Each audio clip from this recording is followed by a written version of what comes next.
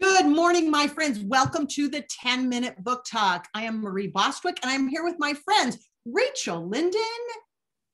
There she is. Look how cute she is. She got her haircut. and Katherine, Katherine Reay, who is also totally adorable and we love. Oh, and you know who else we're here with? We are here with Kristina McMorris, whose brand new book, The Ways We Hide, just came out yesterday. We're so excited to have her here. I've read this book. I love it. It's amazing. Oh, one thing I did want to make sure I tell people like, this is another author where you need to follow her Instagram because like Kristina's life is crazy, but even just for the the the monthly redecorating of the Christmas tree that never came down, it's worth it just for that. She has some very unusual decorations. But enough of that. Kristina, welcome to the 10 minute book talk. Tell us a little about your book. Hi, good morning, everybody. Okay, so yes, quick summary of the story The Ways We Hide, my latest novel, is about a female illusionist who is the mastermind behind an escape show in 1942. And because of her skill set, which she gained, by the way, becoming very good at escape because of a traumatic childhood that involves a tragedy that stunned me um, in Michigan's copper country. And because of her skill set to escape, she and with gadgets and inventions, she gets recruited by MI9, which is a British military intelligence group that's as classified and secretive as you can imagine. And she gets pulled much deeper into the war than she ever expects. So, there you oh go. There's my quick sum. That is that's a great. If we were on an elevator, I wouldn't want to get off. I just want exactly. to hear more about this story. Well done. Thank you, Spielberg. Thank you. so I'm guessing that an enormous amount of research went into a book this complex and a historical novel. Um, so how? Tell me a bit more about your research project pro, um, process. Yeah. And maybe anything surprising that you learned. I'm sure you learned tons of surprising stuff, but oh my yeah, God. oh my stuff that stood out yeah something that feels like a, you know a, an author's note with all the incredible things you think how how do what do i put in and not because there's so much amazing uh, facts that i found along the way aside from the uh, michigan's copper country tragedy that was known as the italian hall disaster and i'll allow people to go ahead and look that up it's horrible but it's also something that i thought how have we never heard about this before um, so that was a major one for me uh, there's something called the Bethnal Tube Green, tube green disaster um, that mm-hmm. um, happened in London, another one that I had no idea about. And other than that, some fun things would be about like the gadgets that I got to study from MI9. They were essentially the go go gadget team of World War II.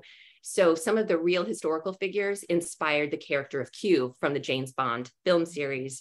Uh, so I mean, it just makes sense that they recruited magicians and illusionists because it's all sort of the same thing, smuggling these, these amazing escape and evade tools that they put into things like monopoly boards and sent them in care packages to Allied POW camps to help them escape. And all of this is based on true stories. Oh so, my gosh. Wow. And yeah, and by the way, I'll say research wise, my process was just diving into everything I can imagine, you know, all of the documentaries, the videos, the books, and about 20 experts in all different fields from airmen to um, Dutch resistance, to, you know, Dutch history, um, Holocaust survivors, you know, survivors of some of the tragedies they talked about. Yeah, it was pretty amazing. Wow. Oh, as much as I want to dive deeper into MI9, which absolutely sounds incredible, um, I actually want to ask because you kind of peeled back that, which I was like, MI9, never even heard of it. But anyway, right. um, I want to know how did you come up with the inspiration to thread all of this together? Mm-hmm. Because you really do. You have, you know, huge events that are not well known on both sides of the Atlantic. You've got an incredible story, seamlessly woven. But what was that thread that you start out with that, yes, I see this through pass? Yeah, absolutely. So it was a photograph that I found years ago when I went down the rabbit hole of 50 the most shocking historical photos you have never seen. you know, and you're like, let me see those. what have I never seen? You know, click, go down the rabbit hole. And of course, I found the photo of two kids being offered for sale on their own farmhouse porch. Well, in, in real life, it was actually their own apartment stoop. In my story, it was a farmhouse porch. And that inspired Sold on a Monday, which was my last book on this in the same website was another photo and it had to do with the tragedy in michigan's copper country so mm-hmm. i put that in a file tucked it away thought it's way too sad for an entire novel uh, but i couldn't let it go it haunted me when i went back to my idea folder i'm sure you guys all have this um, and I put together that one right next to an article that was about how the Allies helped world win World War II through monopoly. Mm-hmm. And when I put the two together, all of a sudden I thought, oh my gosh, within about 15 minutes, I had two thirds of my story, like a movie in my head. And yeah. if if she was a survivor of this tragedy that had to do with claustrophobia, she would become obsessed with escape, always needing two ways out of every room. And Houdini would be her her her um, you know her what's the word I'm looking for? Her hero. Spirit animal. yes, yes. Animal. So definitely her hero, and um, she would idolize him. And so because of that, she becomes. I thought this is her backstory. She would be a natural to be pulled into MI9. So that's how it all came nice. together. Oh my goodness. smart. So smart. Like the your best main, book ever. Mm-hmm. Your main character, by the way, her name is Fenna Voss, and um, she's she is of Dutch extraction, and I kind of love this little thing. It, it, apparently means fox, right? Yes. So I I love that. Yeah. Yeah, yeah. I love that. Um, you know, all the symbolism that kind of goes with there with her character is very clever, but also good at evading, at hiding, at, at protecting herself, but ultimately good at protecting others too. And another thing, guys, when you read this book, read the author's notes because they are a tome unto themselves, but it's so fascinating. Um, one of the things about this book that I could imagine must have been just so stinking fun for you as an author is learning about all the escape artist stuff and the tricks. So uh, I know you, and I know that your research, you like to get your hands on research. So, can you share with us uh, one or two of your little tricks that you may have learned along the way? Oh my gosh. So it, it really was, you know, you remember Apollo 13, the movie, and they sit there and they put everything on the table. Do you remember that? And they're like, this is yeah. what they have up there, you know, make it work. And you, so that's sort of how I felt at times of how do I come up with escapes that would be realistic, that the Nazis would not figure out that they hadn't already seen before. I mean, so so it was a, some of that um, definitely was sitting here sketching um, boxes and things that you know you could use. And um, and then of course the more fun things the gadgets. And and I do have one. I'll show you here really quick I love a good visual aid.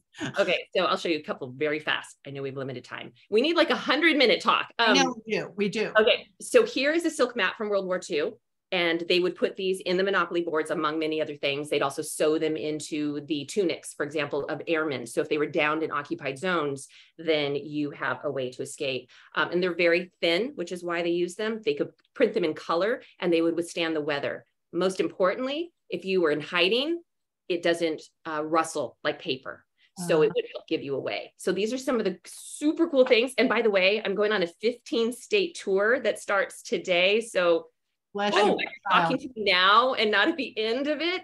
Um, but I'll be bringing all kinds of this stuff along, and I'll show you one other thing. So this is um, this is not this is a replica, of course, because the only one that's known is in the Washington D.C. Spy Museum. So here's like a typical playing card. You soak it in water, and it be, it comes apart, and it now has all the pieces of a map that you would lay out in order to try to escape. Wow. So wow, cool stuff. And magic wise, yeah, my my my youngest son actually is very good at card tricks and sleight of hand. So luckily he helped me. So any of those story, any of those tricks you're reading in the book that have to do with cards and stuff, which were amazing to put in, that all came from him. Oh, that is I love that. That's cool. awesome. So cool. So cool. Uh, Kristina, I'm going to ask you one more question, but you you did point out, yeah, you're going on a 15 state. Oh yeah. my gosh. Oh my gosh. Like, yeah. I hope you have like, I don't know, the big horse pill vitamins. So, um, what's your website so that people uh, people can look up and see if maybe they'll be in your the area where they can come and get a book personally and hear hear more of your talk. Which, where can we find your that calendar? that would be awesome. Yes, on my website. So my name with a K, Kristina McMorris, and it's just mcmorris.com. And yeah, if they go on there on the events page, it's got all the links and I'll be all over the place in September and October. So some of those 15 states I'm going back to like several times. that, that's wonderful. Amazing. That's so exciting.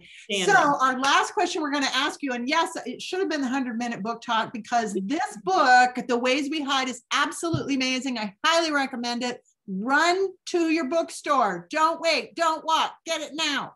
Um, but Kristina, as you are heading out on your tour very soon, tell us what is bringing you joy today, my friend. Oh, but so it's a bittersweet joy in that my oldest is heading off to college. Um, or actually, you know, is is um, yeah, is is already diving into classes and and all of that oh, down at Chapman University. And he's an animation major. He got into their incredible film school. Um, you know, when we visited, Guillermo del Toro had been there the night before giving a talk. and you're like, how do we say no to this? Squid Game cast had been there the week before that.